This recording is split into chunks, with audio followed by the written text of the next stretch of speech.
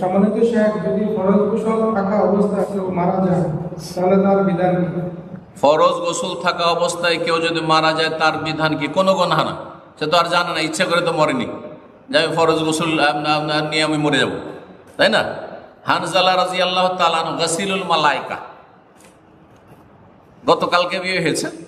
আর তারপরে সন্ধ্যাবেলা ঘোষণা হয়েছে যে কালকে সকালে ওহদের যুদ্ধে যেতে হবে। আর প্রথম বাসরের রাত ছিল। প্রথম বাসর রাত সুবহান আল্লাহ নবী শাসনের ঘোষণায় বাসর রাতে স্ত্রীকে বলছে রসুল্লাহ ঘোষণা হয়েছে, আর আমি বলে দিচ্ছি আমি কালকে সকালে যাব। আর ফরজ গোসল হয়েছে। ঘোষণা গোসল করার সময় পান, পাননি। তাড়াতাড়ি চলে গেছেন ওই নাপাক অবস্থায় চলে গেছে, ওই অবস্থায় শহীদ হয়ে গেছেন। ফেরেশতারা তাকে গোসল দিয়েছেন। সব যে মৃতদেহগুলো, যেগুলো সোহাদাদের মৃতদেহ, সবগুলিতে রক্ত মাখা আছে। কিন্তু এই হানজালা রাজি আল্লাহ তার শরীর থেকে টপ টপ করে ঝরঝর করে পানি ঝরছে। অবাক সাহাবাই কানি পানি কেন ঝরছে?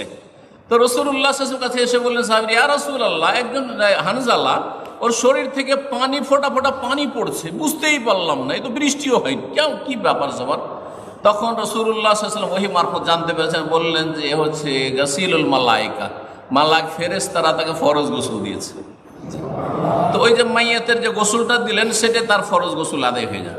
তার গোসল আদায় হয়ে তার স্ত্রী তো জানছে।